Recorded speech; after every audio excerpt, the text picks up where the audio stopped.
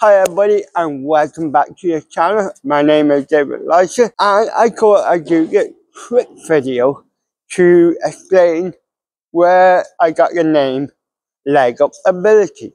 Well, first of all, I have to place the credit of the name to my sister.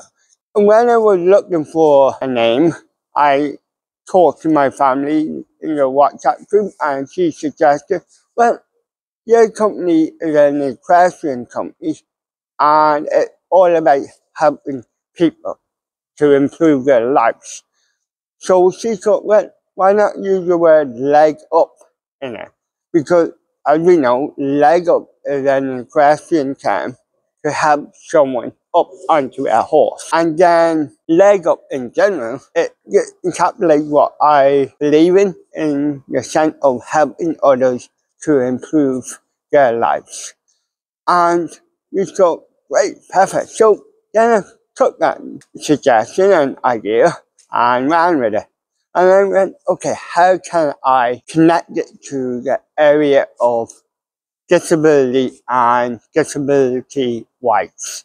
Well, if you look at organizations that tend to promote the inclusion of people with disability, they tend to have the word ability in it to denote that people with disability still have the ability to do things. So I believe that as well. So I took the word ability, connected it to the word leg up. And hence I got the word leg up ability.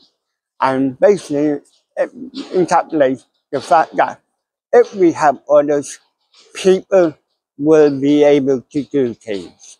So that is simply where I got the name from. I hope people enjoy it video. Thanks very much and talk to you in the next video. Bye.